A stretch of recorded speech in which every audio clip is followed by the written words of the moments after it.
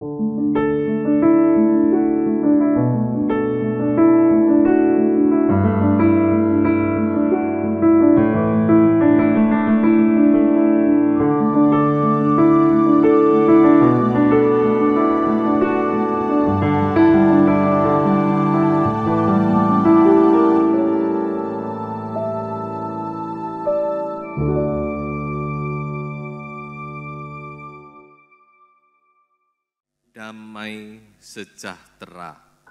kita bersama-sama membuka di dalam Injil Lukas pasal 1 ayat 79.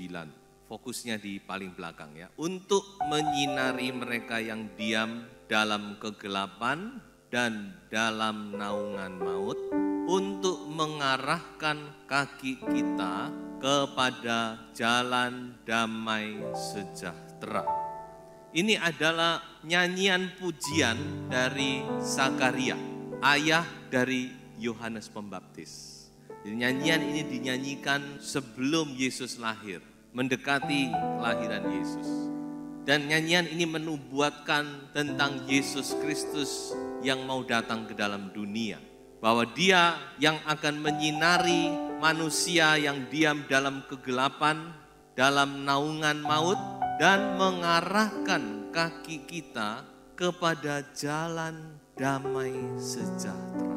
Jadi saudara-saudara, Yesus Kristus tidak salah, dia disebut sebagai Raja Damai. Jadi salah satu gelar Yesus adalah Raja Damai. Satu-satunya Raja yang bergelar Raja Damai yaitu Yesus. Mengapa dia dinamakan Raja Damai? Karena memang kelahirannya ke dalam dunia itu mempunyai satu misi yang besar, misi yang khusus, misi yang luar biasa, yaitu memperdamaikan hubungan Allah dengan manusia.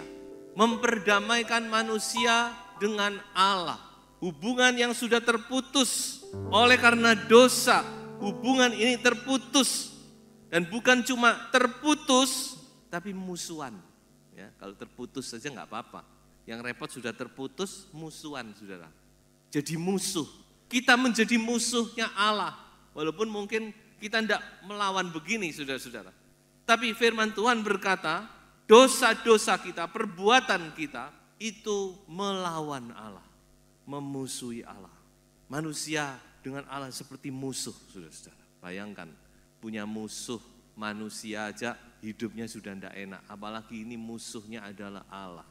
Tetapi puji nama Tuhan, Yesus Kristus dia datang, dia memperdamaikan kembali hubungan yang terputus itu melalui kematiannya di atas kayu salib. Kematian Yesus, tubuh Yesus yang dihancurkan, darah Yesus memperdamaikan manusia dengan Allah.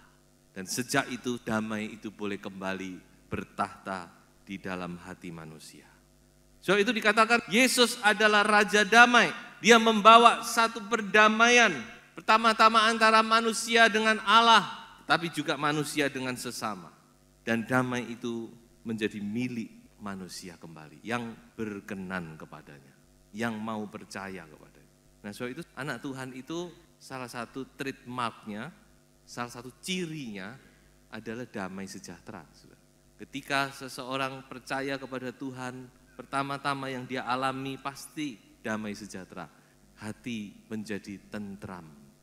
Karena Yesus, Sang Raja Damai itu memperdamaikan kita dengan musuh kita. Apakah damai sejahtera itu? Saya akan melihat ini dari asal kata yang tercatat di dalam Alkitab.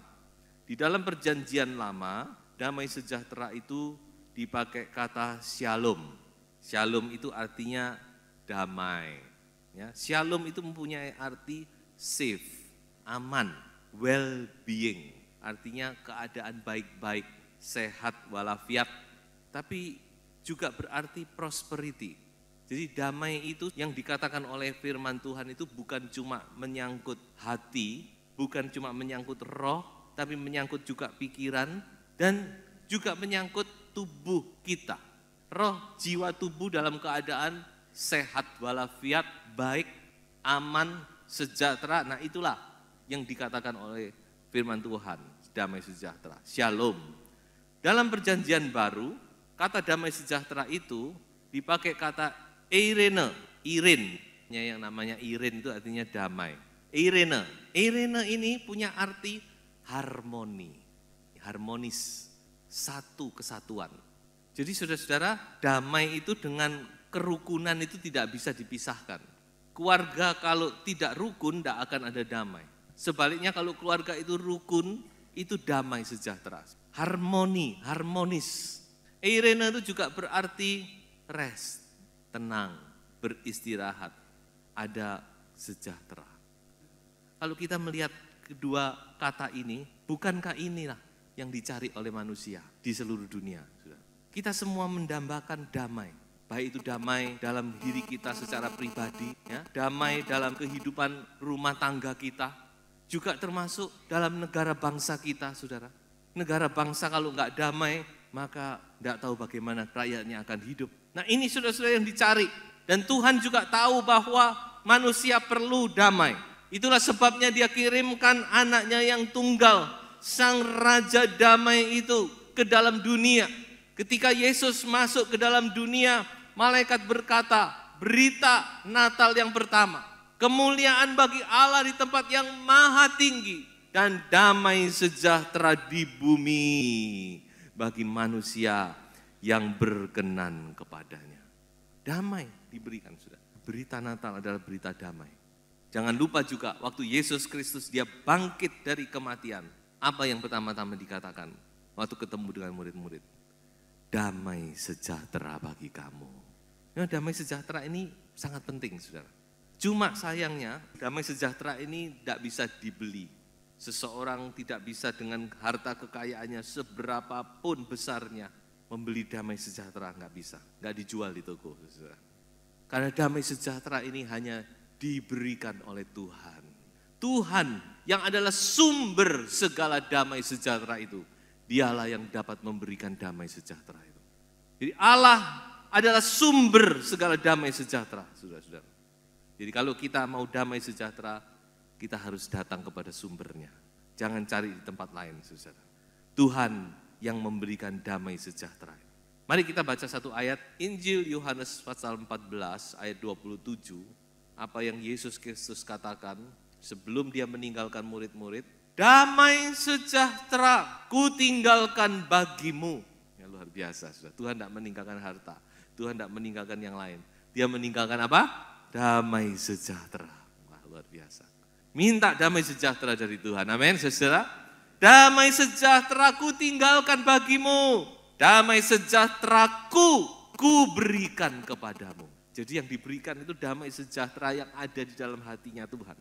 Bukan yang di dunia, saudara. Sudah tidak akan dapat dari dunia. Sudah lihat sinetron tidak akan dapat damai. Hidup ini sudah susah kok tambah disusahi dengan cerita sinetron saudara. Tapi aneh orang banyak senang sinetron.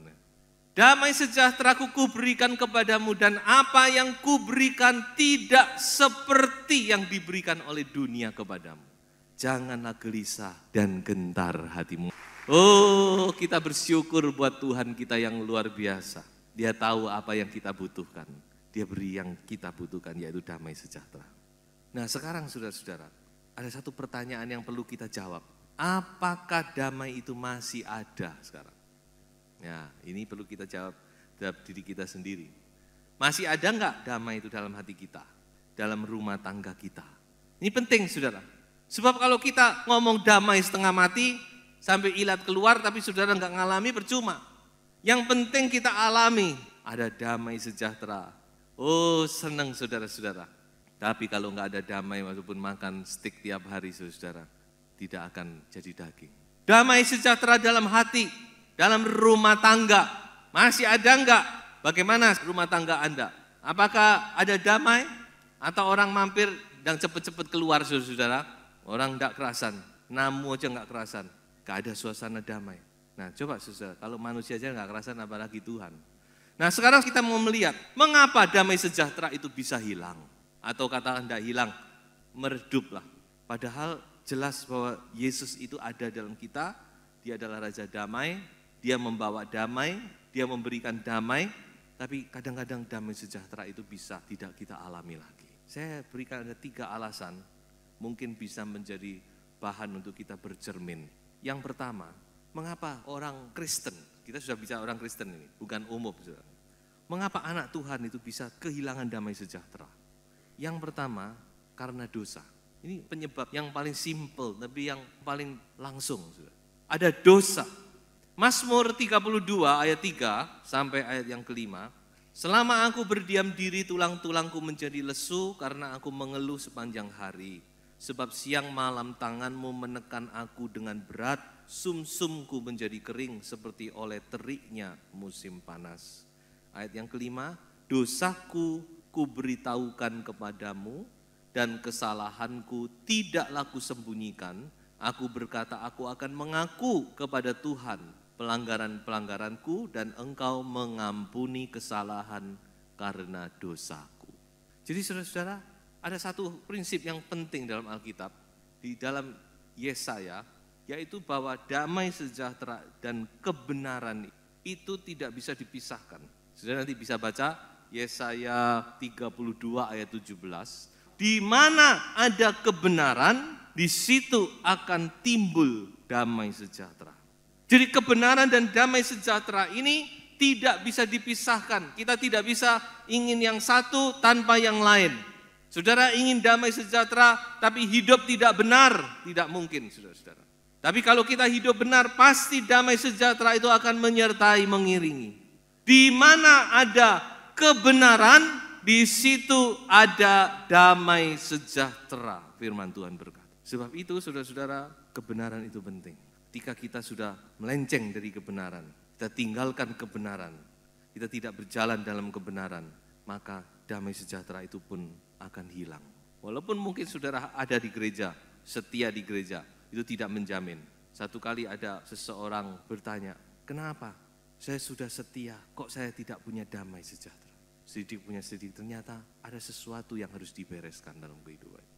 Ayo saudara-saudara, damai sejahtera ini jangan sampai hilang. Kalau ada dosa, dikatakan mari kita bereskan dengan Tuhan. Daud berkata, ketika aku tidak mau membereskan dengan Tuhan, aku seperti tertekan, tidak tenang hidupku. Tapi ketika aku mengaku kepada Tuhan, oh aku berbahagia. Plong, tidak ada ganjalan lagi. Aku punya persekutuan yang indah kembali dengan Tuhan. Oh mari Tuhan. Dan Tuhan akan hadir saudara. Jadi itu yang pertama saudara, kita harus selidiki kehidupan kita. Aduh ada sesuatu yang tidak berkenan kepada Tuhan, relakan, tinggalkan itu. Yang kedua, mengapa damai sejahtera itu hilang? yaitu karena kita tidak berjalan dalam pimpinan Roh Kudus. Mari kita baca satu ayat, Kolose pasal 3 ayat yang ke-15. Hendaklah damai sejahtera Kristus memerintah dalam hatimu, karena untuk itulah kamu telah dipanggil menjadi satu tubuh hendaklah damai sejahtera Kristus memerintah. Kata memerintah itu dalam bahasa Yunani dipakai kata brabewo. Brabewo itu artinya to decide every debate, memutuskan perkara. Kalau ada perdebatan, dia memutuskan mana yang benar, mana yang salah. Mewasiti, mengadili. Nah, itu arti kata memerintah di sini. Jadi saudara-saudara Tuhan kita luar biasa. Dia sudah memberikan satu kompas, satu pedoman untuk memimpin langkah kehidupan kita berjalan di dalam jalan yang benar, yaitu damai sejahtera ini. Makanya damai sejahtera ini sudah-sudah very precious, sangat berharga. Jangan sampai hilang. Damai sejahtera ini memimpin kita. Brabewu, ya mau wasiti Indo, si jalan sing bener ini. Kamu melangkah, oh ada damai tuh ya situ. Makanya saudara, Tuhan itu luar biasa. Langkah kita ini dipimpin dengan pimpinan roh kudus dan sebagai tandanya yaitu damai sejahtera ini saudara-saudara. Makanya kita harus simpan itu. Cuma masalahnya sering kali kita abaikan. Jadi sering kali kita sudah rasanya ini kok nggak ada damai. Tapi karena kita pikir, wis begini kita jalan, wis harus jalan. Ya kita abaikan saudara. Nah itu yang membuat banyak terjadi masalah. Coba kita mau tenang, kita mau berjalan dalam pimpinan roh, maka semuanya akan Tuhan pimpin. Tapi ya namanya manusia ya, kita masih dalam taraf belajar, ya sudah dimaklumi. Tapi kita harus punya satu kerinduan saudara-saudara. Dan ini harus ada, karena roh kudus, salah satu buah roh kudus adalah damai sejahtera. Amin ya. Kasih, sukacita, damai sejahtera. Makanya itu, mari sudah kita mau belajar untuk berjalan di dalam pimpinan roh kudus. Ini perlu satu belajar, tapi tidak mengapa. Tuhan maha murah, Tuhan berikan kesempatan terus melatih kita, saudara-saudara, untuk kita berjalan di dalam pimpinan Roh Kudus. Yang ketiga, mengapa damai sejahtera itu hilang? Karena kita tidak percaya kepada firman. Mari kita baca. Yesaya 26 ayat 3 dan ayat yang keempat. Yang hatinya teguh kau jagai dengan damai sejahtera. Sebab kepada mula ia percaya percayalah kepada Tuhan selama-lamanya. Sebab Tuhan Allah adalah gunung batu yang kekal. Yang hatinya teguh, kau jagai dengan damai sejahtera. You will keep him in perfect peace. Dengan damai yang sempurna. Because he trusts in you. Karena dia percaya kepada jadi saudara, kalau kita mau percaya pada firman, kita pasti akan dapat damai sejahtera. Pasti tenang, us tenang, us. Bisa aku pegang janji Tuhan. Kita nggak tenang itu karena kita nggak yakin, sudah nggak percaya Tuhan itu bener bener nggak Tuhan itu menolong saya, bener nggak Tuhan itu akan memelihara saya. Bagaimana nanti kita banyak kekhawatiran dan sebagainya. Maunya Tuhan Yesus berkata apa? Wis sejak khawatir, wis. Kekhawatiran ini tidak ada gunanya, tidak bisa menambahi apa-apa. Yang penting kamu cari kerajaan Allah dan kebenarannya, nanti semuanya akan ditambahkan kepadamu. Di dalam Matius pasal 6. Jadi percaya saja saudara. Mari kita yakin, pegang firman Tuhan. Trust in the Lord. Pegang, percaya kepada Tuhan. Maka saudara akan menerima damai sejahtera itu. Damai sejahtera itu produk dari iman. Mari saudara, biarlah kita mau belajar untuk percaya sepenuhnya. Tidak ragu kepada janji Tuhan. Tuhan pasti akan menolong saya. Tuhan pasti akan memberkati saya. Tuhan pasti akan memelihara saya. Tuhan sudah memberkati masa depan saya. Haleluya. Saudara akan menerima damai sejahtera. Yakinlah, Tuhan tidak pernah tinggalkan saudara. Apa pun keadaanmu, Tuhan pasti akan menolong. Tiga hal sudah saya sampaikan. Mari saudara, damai sejahtera itu biar terus ada di dalam kehidupan kita. Karena kita dipanggil menjadi anak-anak Tuhan untuk mendapatkan damai sejahtera. Bukan untuk jadi kacau balau, bukan. Tapi kita dipanggil untuk kita menikmati, menikmati saya katakan. Menikmati damai. Tuhan berkata di dunia kamu nggak akan terima damai, di dunia nggak ada damai, tapi di dalam aku kamu ada damai. Untuk itulah kita dipanggil. Ya, saudara nanti bisa baca itu dalam 1 Korintus 7 ayat 15b. Engkau dipanggil untuk menikmati damai sejahtera ini. Ya, so itu mari saudara, jangan sampai damai itu, ayo pegang itu, kejar itu. Paulus berkata, kejar damai sejahtera itu. Jangan sampai terlepas saudara. Sebagai ayat terakhir saya akan bacakan dari 2 Tesalonika pasal 3 ayat 16. Dan ia Tuhan damai sejahtera kiranya mengaruniakan damai sejahteranya terus menerus dalam segala hal kepada kamu. Tuhan menyertai kamu sekalian. Haleluya.